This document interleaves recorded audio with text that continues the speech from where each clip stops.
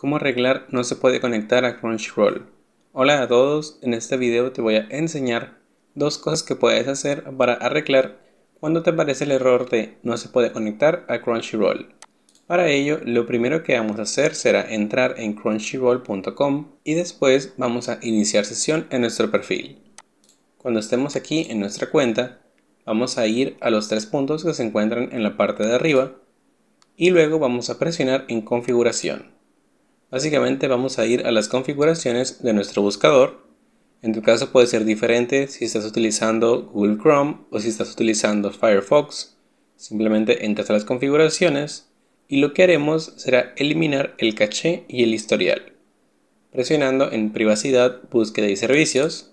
En mi caso, que yo utilizo Microsoft Edge, voy a deslizar hacia abajo y luego en la opción de borrar datos de exploración ahora, Presiono en Elige lo que quieres borrar. Una vez en este menú, lo que tengo que hacer es seleccionar las cookies y otros datos del sitio y también los archivos e imágenes en caché, ya que esas son las dos cosas que probablemente pueden estar afectando tus sitios web. En este caso Crunchyroll que no está funcionando de la manera que debe de ser. Vas a seleccionar el intervalo de tiempo de todo el tiempo y luego en borrar ahora.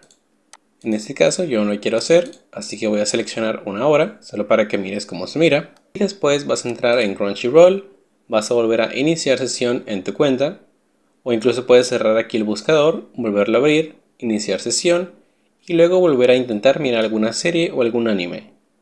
En dado caso de que esto no solucione el problema, otra cosa que podemos hacer es revisar nuestra conexión de internet.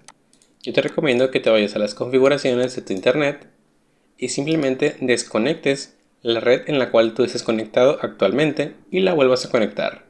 Eso usualmente resuelve el problema de la pantalla negra dentro de Crunchyroll.